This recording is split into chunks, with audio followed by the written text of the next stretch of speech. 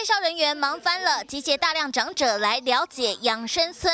以这间来说，没提供洗衣机跟电视，但住进来有早午餐能吃，还有免费课程，能跟其他长辈一起活动。多达两千两百个案例正在等候，抢着预约参观。什么是养生村？我是觉得养生村跟养老村有一个最大的区别是，养生村是年长的。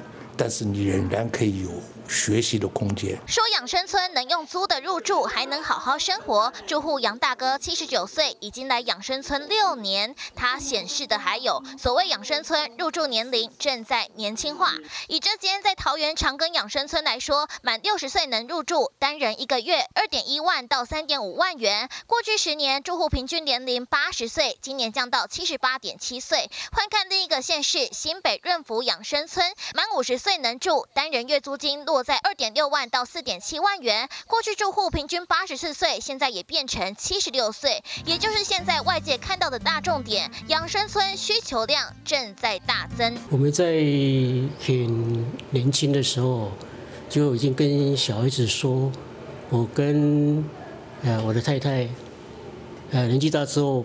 不会跟小孩子住在一起。六十六岁就来住的苏大哥谈起，因为有越来越多长者提早规划晚年生活，现在甚至有人五十二岁就选择住进养生村。由于养生村连附近环境都列入规划中，我们对面有一个护理之家，所以我们的老人他们要看门诊，他们要做复健。所以那边也提供一个很好的一个服务，能够活要老化、热点老化。养生村受欢迎，因此还不止在山区，现在台北内湖市区也有出现知名养生村。在台湾预计后年将迈入超高龄化社会之际，养生风潮明显在居住中崛起。八大新闻，你是张凯怡，桃园蹭报道。越来越年轻，越来越往市区来靠近，当然在价格上面也有越来越多不同的选择。那么其中呢，在高档养生村的部分，淡水有全台最高价之称的养生村，近期住户量是百分之百满住。但您知道吗？他们的押金最高要一千五百万元，民众愿意卖掉自己的房子入住养生村的董事长直接分享，其实这也是一种以房养老的。新形态。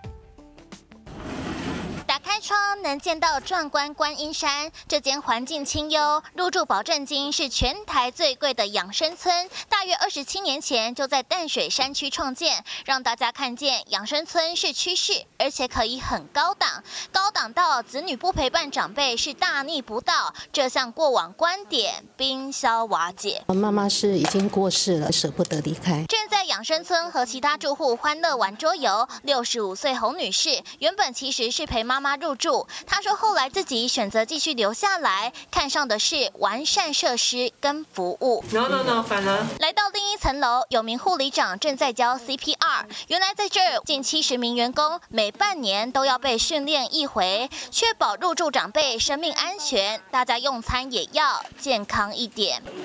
午餐一水果还有汤，每日套餐有专人搭配，长辈甚至有固定座位，没来吃饭或吃太少都会有人关切。餐厅外白板还贴满活动，看要去练身体或参加基督教聚会，还是学佛不呼隆，都有专业老师教学。于是子女把父母送来，长辈心甘情愿。什么都有啊，这边交通车每班每小时都有。我们不是很有钱。但是我们内湖那个房子啊，把它卖掉啊，那个价钱刚好。可以在这边做押金。当年他们养四个孩子累得要命，现在愿意卖掉房子住养生村，付一千五百万元最高押金，明眼人能看出当中惊喜。以一般养生村押金落在二十五到五十万来说，高级养生村押金达到足足三十倍。用这家养生村目前已经租出去百分之九十五来算，假如大家都是用押金方案获得签约十年内生活无法自理，也能继续住资格，那现金流最少快十九亿，在董事长眼中非常值得发展下去。把房子租出租或者是卖卖掉，你又呢啊可以省下啊这个这个房子的保养费，以防啊这个养老的同样的这这个这个意义啊。所以现在高档养生村床旁边有紧急求救铃，大家互利，走向高级养生村，自然引爆引法商机。八大新闻您去张凯新北曾有报道。民生八方式尽在一小时，要订阅，不要忘记要按小铃铛哦。